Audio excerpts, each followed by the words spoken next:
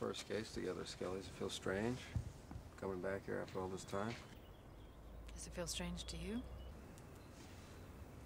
I don't know. What's that feeling when you when you walk down an old path, but you know you're you're a different person? You mean for all that's changed? Well, for all that hasn't.